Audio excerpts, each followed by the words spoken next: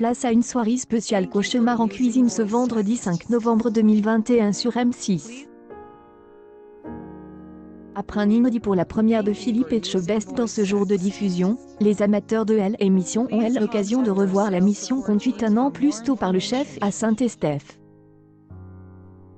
Thierry et Amanda, patrons du Crazy Frog, avaient fait appel aux pompiers de service pour permettre au restaurant de retrouver un élan et gérer le conflit les opposants à leur cuisinier Jean-Pierre.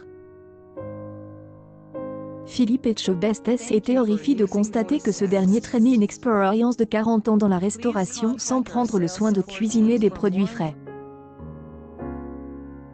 Au sortir du tournage, la situation S était des ailleurs dégradée et Thierry n'avait pas mâché ses mots pour toute elle au moment de compter la fin de sa collaboration avec son ex-salarié.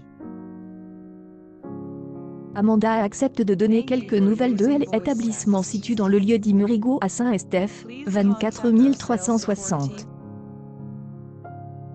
Et comme beaucoup de ses confrères, la crise sanitaire n'a pas arrangé les affaires du restaurant, cela marchait bien avant le pass sanitaire car la carte a changé complètement. Mais on a été contraint de fermer et c'est encore trop difficile pour nous. Elle estime refuser entre 10 et 15 clients par jour car ceux-ci n'ont pas leur passe sanitaire. Un protocole qu'elle espère voir disparaître au plus vite. Rendez-vous à 22h55 pour retrouver les exploits de Jean-Pierre, alias le roi du surgel. La trilogie S achèvera en troisième partie de soirée dans la commune des Époires, qui est rappelée au bon souvenir de MC le 13 octobre dernier.